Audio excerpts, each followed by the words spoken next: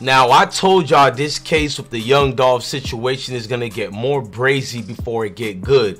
I warned y'all this thing is an upkeep and a turn up to a lot of things that's been going down and that's been 3,800,000 times greater than proportional rate and what they speak into the nonsense and drill tip with. Now, y'all probably like, what is Bless one speaking about? Well, no other than what you know as the famous white Benz found. I've done multiple videos about it, but there is a star key witness in this case, multiple key witness. I'll be doing two separate videos on witnesses, but the main witness we know that's going to be used is the white Benz original owner. Now, these owners were educational purpose, basically almost kidnapped and, and, and guns being used on them. They went to an aggressive ordeal and they're going to give their keep. You know what Memphis police police department are going to do already, y'all. The way court is used, y'all, when you have vital witnesses, you have to use what you have to settle the case. Don't worry, y'all, we'll get to the video so you guys can see what I'm talking about and breaking it down. We're going to use the actual WREG news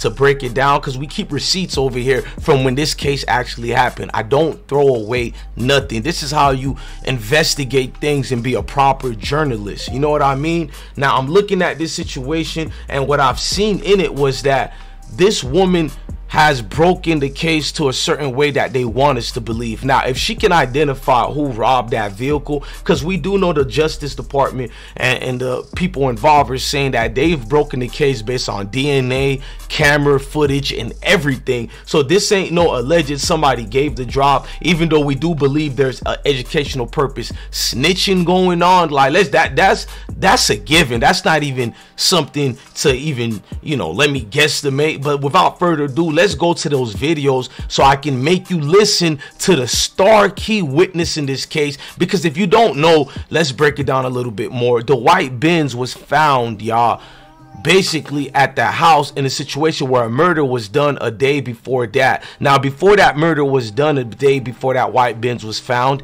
what they didn't want to talk about was the murder that was done basically November 12th, two weeks before that, in another situation in Covington. Now, that one was brazy. It got out of hand, and there was a lot of twists and turns involving in that case. Now, one of the involvement in that case was your typical regular BS of cover up. Now, we didn't know if it came from the cops or what, but a lot of things was going on even in the neighborhood when it came down to hiding the involvement. Now, I'm going to play the video of the star witness allegedly. I have to say alleged witness, but I know she's to get subpoenaed based on what she said in this interview that happened. You know what's to come with it, and it's just to be is what it is, y'all. Now, let's go to it right quick. Hit that like button, hit that notification bell, and rock out with I Smoke Hip Hop Live. Salute may be related to the shooting of young Dolph. Covington Police Chief Andy Lindsay just confirmed that his department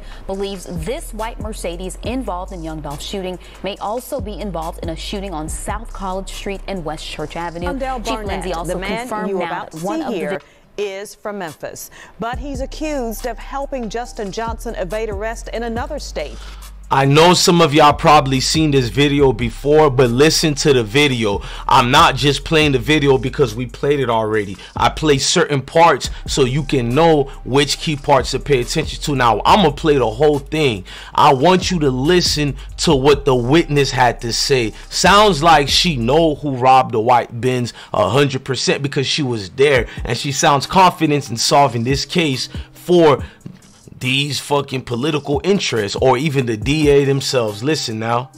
He's now facing charges of being an accessory after the fact. All right, on top of that, Justin Johnson and Cornelius Smith are charged with first degree murder and a list of other crimes.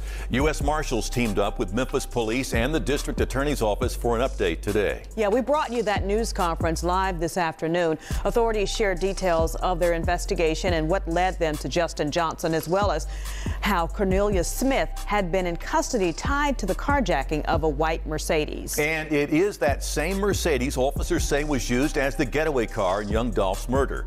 We now know that car was stolen from a woman at a gas station in East Memphis. Yeah, police say they discovered Smith's fingerprint.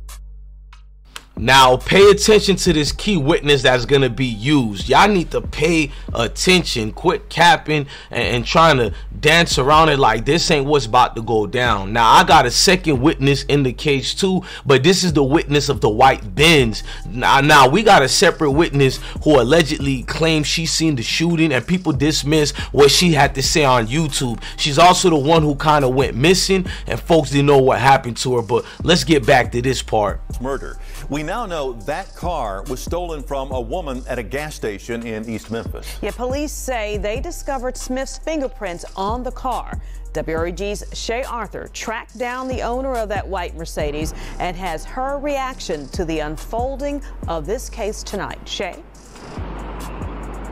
Hey, Stephanie. Hey, Greg. Yeah, as you can imagine, she said the last few months have been pretty tough. It was actually that car owner's relative that was driving the car at the time of the crime. She was actually on the phone with her when it happened. Take a listen to this. As investigators searched for young Dolph's killers, they looked for this white Mercedes.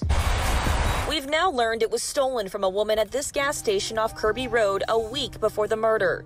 The 22-year-old driver at the time who made the quick stop just after 7:30 at night had borrowed the car from a relative. We talked to that relative today. For safety concerns, she asked us not to identify her. And I'm just so glad that she wasn't killed because these guys are killers. The victim told police two men armed with assault rifles came up and demanded the car. Now, listen to her story. Pay attention. Even when she told y'all, now these guys are killers, it was like an intimate way of I know them personally. Not personally, personally, but from her robbery experience with the alleged killers who stole the white Benz. Like she's basically letting people know if she could identify them she won't forget they face, bro. Like, I want to know how they did it, bro. Now let's listen to it from her. The victim told police two men armed with assault rifles came up and demanded the car. One of them hit her in the face with the barrel of the gun. The young woman called her relative as this happened. She didn't immediately give up the car. When, when she calls you when this is happening, what is going through your if you are a woman and you're even if you're a man too if you're getting robbed for your vehicle your life is more important than the vehicle. I didn't like hearing that part. She didn't want to give up give it up without a fight. That's stupid. I mean you can always get another vehicle but you can't always get another life. Facts. Your mind. I was i really thought they were gonna kill her. I mean that's all i was thinking. I'm gonna hear you know her die right here on the phone. She's going off and you know she's she was standing up for herself and um, even at one point you know kept them from from possibly putting her in the car with them. Eventually the men got the car keys and drove off. A week later a picture of the car is broadcast out believed to be the getaway car in young Dolph's murder. Then days later officers discovered it behind an abandoned home in Orange Mound the victim's relative tells us the young woman still has anxiety from the incident. A little trauma resurfaced just from all of it coming back up. It was it was really hard on her. She says while she only had the Mercedes, her dream car for a few months, property can be replaced. She now thinks of Young Dolph's family as they deal with their loss. My heart goes out to the people that were, you know, hurt by this group of people that are not okay. And reminds everyone tonight to always stay alert wherever they go.